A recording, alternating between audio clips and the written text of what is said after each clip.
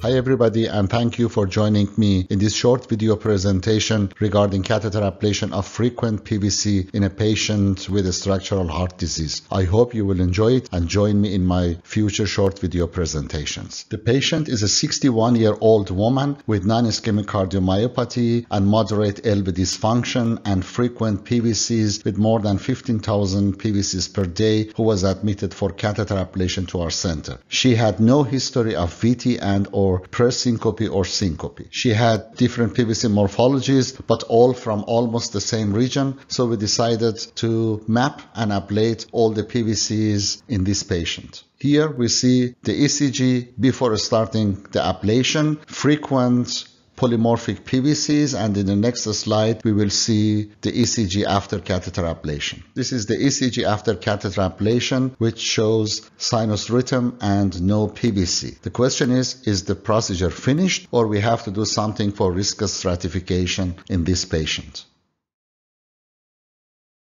To answer this question, we can look at the current guidelines which published uh, this year, and these are recommendations for cardiac magnetic resonance imaging in patients with frequent PVC and for also programmed ventricular stimulation in these patients. As a class 2A recommendation, we can use CMR for risk stratification of sudden cardiac death in patients with frequent PVCs and especially in those with a structural heart disease. And in addition, we can use programmed electrical stimulation for risk stratification in these patients. Now, let's take a look at the results of MRI and also the programmed electrical stimulation in our patient.